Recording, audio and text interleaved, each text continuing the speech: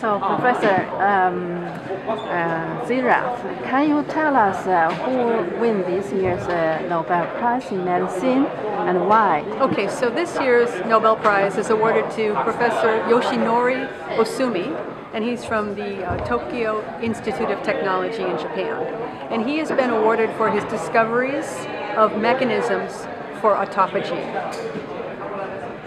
Yeah, what, what, uh, what is autophagy? Right. I mean, for the ordinary people, just to explain uh, what's the contribution uh, is that? So autophagy comes from the Greek uh, words self-eating, and this is a process, an intercellular process that allows the cell to deal with um, long-lived or damaged proteins and it also allows the cell to survive stress, such as from starvation. And what he identified was the molecular machinery for autophagy.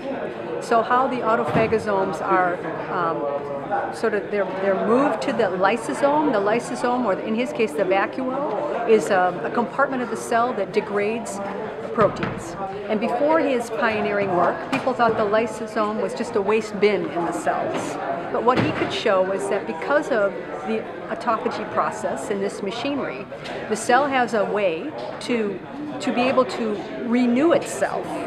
So not only can the cell break down long-lived or damaged proteins, but the cell can then utilize these proteins for building new proteins.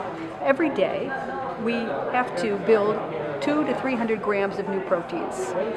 Every two to three months, every protein in our body is turned over. They're, they're new. So this process is really important because it helps us to be able to renew the proteins in our body.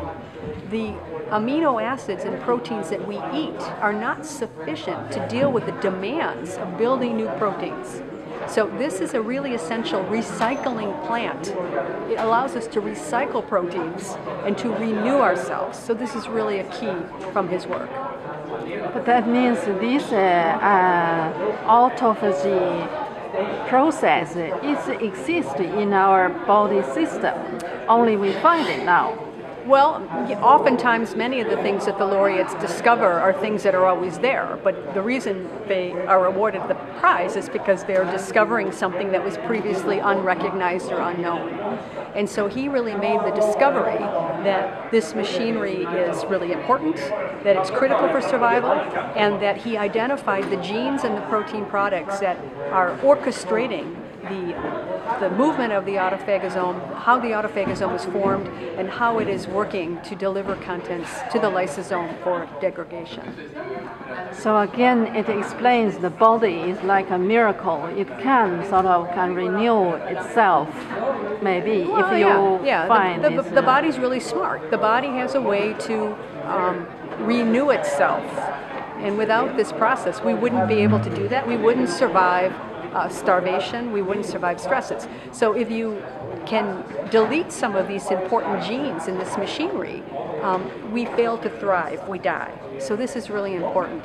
Some of the um, de defects in the autophagy machinery are associated with diseases like neurodegenerative diseases, diabetes, too much autophagy is not good for the cell either. Um, that can lead to some cancers. So it's really an important fundamental mechanism that helps our bodies cope with life.